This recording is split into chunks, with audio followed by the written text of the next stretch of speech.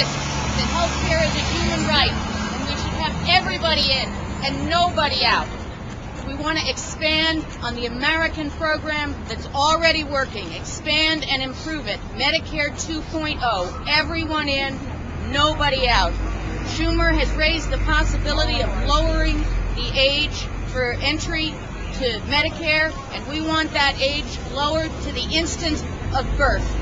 We need cradle to grave coverage for everyone. It's the only way that we can have what you need when you need it health care for every American.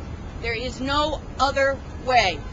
It's the highest value health care for dollar, and we need value here. We don't need for profit health insurance companies providing low added value to our system while siphoning off money into profits, corporate salaries, dividends, and so on. And so we are here to stand up for Medicare for all and to pressure Schumer to do what's right and move that cause forward. I don't want to see any more people who I have to take care of who have bleeding in their brain because they can't afford taking care of their high blood pressure. This is a reality and people are dying and it shouldn't happen here in America. We can do better. Yeah! Medicare for all.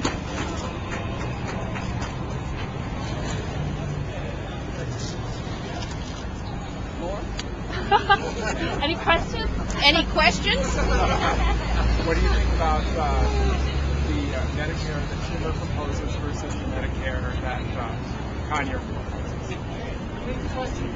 He's asking me to compare and contrast Schumer proposed Medicare with Conyers proposed Medicare.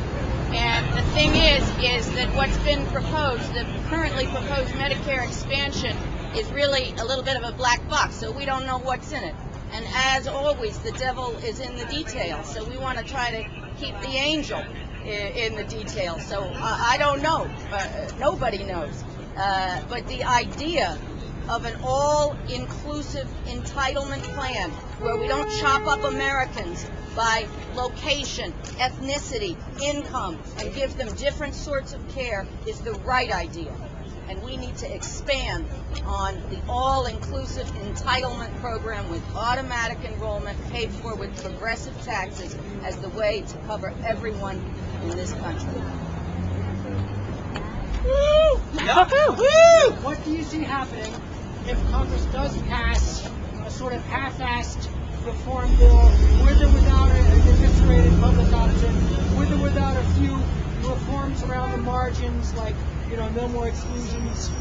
Um, how bad is that going to set us back? What do you, what do you, how do you see that impacting the movement single payer? Well, I've seen a graph where the average premium for a family will exceed the total income of that family, I think in 2025. Right. Uh, so the, the coins will hit the fan. Uh, so I don't think that uh, there, the, the need will not go away. Uh, the movement is alive. It will only uh, it will hopefully draw more people to it as other methods, uh, other approaches fail to bring everybody in to provide everybody health care and continues to promote low value systems where we're blowing money into the wind for nothing. Medicare for all. Medicare for all! Medicare for all. Medicare for all! 55 is not enough! Medicare for all! 55 is not enough! Medicare for all! 55 is not enough! Medicare